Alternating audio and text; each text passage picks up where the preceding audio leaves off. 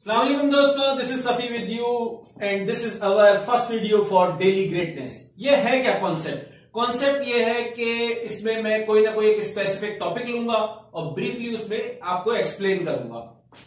आज का जो मेरा टॉपिक है वो है what is the impact of negative people in your life and how you can avoid this people and how you can align with the powerful people Just remember, first, like how you can recognize these negative people in your life.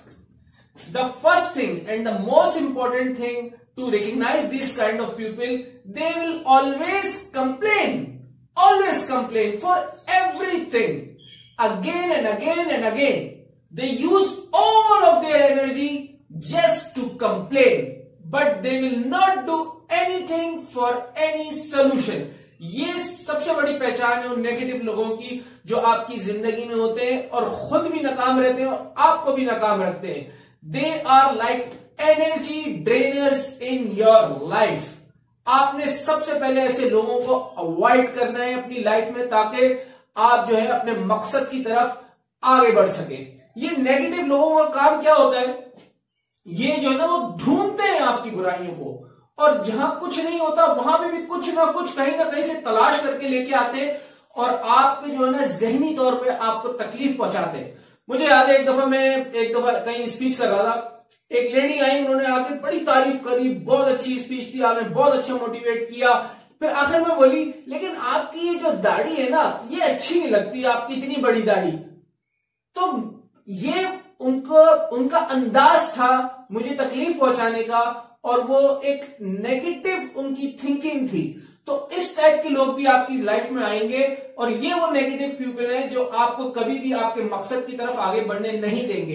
And how you can avoid it you have to take the bold step in your life वो bold step क्या होगा कि कभी कभी ये negative people जो होते हैं, वो आपके काफ़ी करीबी लोग भी होते हैं। तो जब करीबी लोगों को आपको अपने से अवॉइड करना होगा, दूर करना होगा तो आपको बोल्ड स्टेप लेना होगा। And what you can do what you can do is आप उनसे पहले आराम से बात कर सकते हैं इसके ऊपर, और अगर फिर भी वो नहीं मानते so you have to take them out from your life उसके अलावा, जो सेकंड स्टेप आपको लेना होगा, इन टॉक्सिक जो लोग हैं, इनको अपनी ज़िंदगी से निकालने के लिए और सही सिंथ में आने के लिए, वो क्या you have to align with the powerful people who are those powerful people they always motivate you they always energize you they must have the dream in their life they strike in their life. They strive in their life. They seek for opportunities.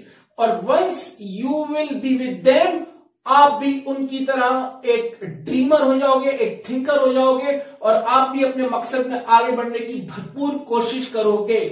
तो ये बहुत ज़रूरी है। ये कहते ना कि birds of a feather flock together if you run around with negative and cynical people you will become negative and cynical if you are will nine losers you will be the tenth one अगर आप अपनी ज़िंदगी में अपने मकसद को पाना चाहते हैं तो आपको ये नेगेटिव लोगों को निकालना पड़ेगा और स्ट्रॉन्ग और पावरफुल लोगों को अपनी ज़िंदगी में लाना पड़ेगा।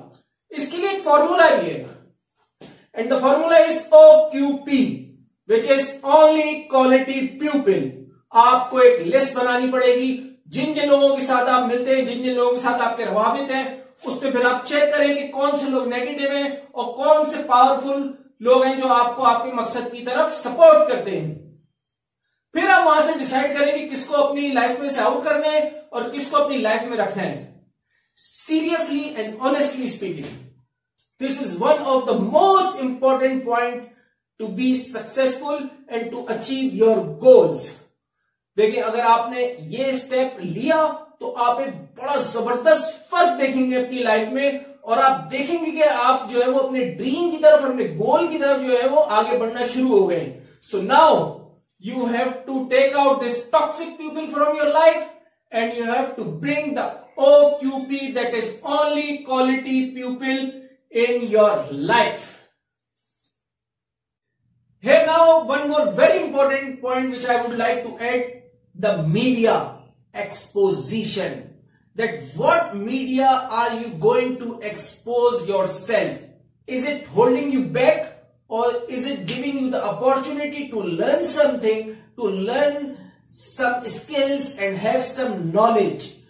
Or you can say this media is smart and garbage or is it giving you the positivity in your life? Because it will impact so much in your life you have to avoid the negative news and negative uh, you can say trash programs in, from your life from your mind you have to be positive and you have to expose yourself on the positive media so you can have the positivity in your life so now moner and groner out and OQP in.